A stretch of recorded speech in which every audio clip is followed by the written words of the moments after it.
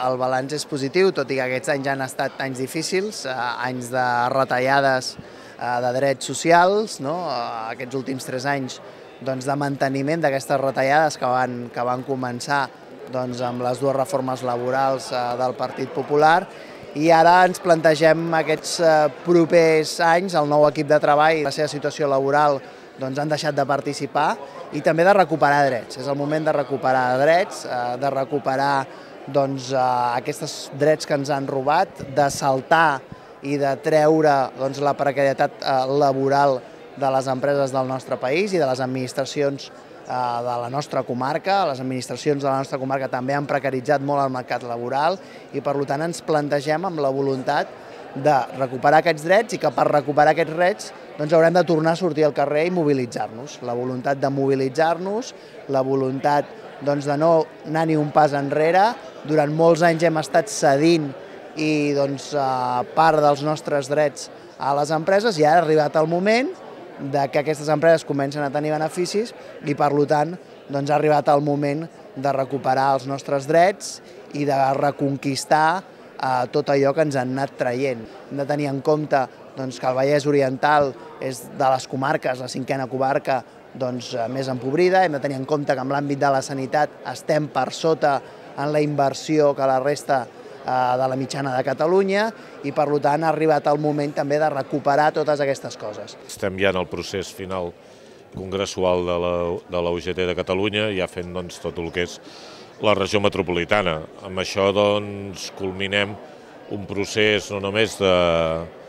de renovació de persones o de continuïtat de persones en el mateix càrrec, com és el cas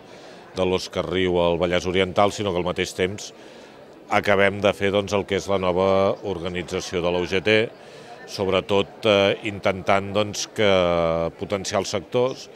i no només a nivell català, sinó a nivell de comarca a comarca. Per tant, hem estat, tot i que els mitjans de comunicació sempre han citat més el debat,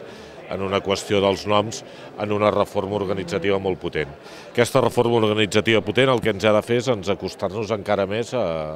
als problemes de la gent treballadora, que són molts perquè mentre les dades del PIB, les dades de les comptes de resultats de les empreses estan molt millor que l'any passat, les nostres nòmines estan igual de congelades o retallades. I per tant, aquest és l'exemple més clar de que la recuperació econòmica només està sent d'ells, no està gent de la gent treballadora, que al final som el 99% de la població. Per tant, el 2017 per nosaltres el plantegem de manera molt clara de la recuperació de drets i de la pujada de salaris. Tenim un govern del Partit Popular que és sort ser, ser qui mentider i un punt antidemocràtic, però al mateix temps també ens trobem una patronal, la COE, bloquejada.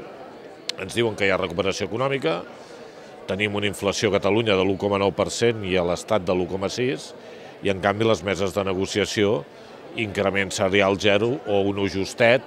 o algunes filigranes que comencen a fer ara. Per tant, davant d'aquestes dues situacions, de l'actitud del Partit Popular i del bloqueig de la COE, nosaltres iniciem el 2017 amb un plantejament molt clar de mobilitzacions indefinides.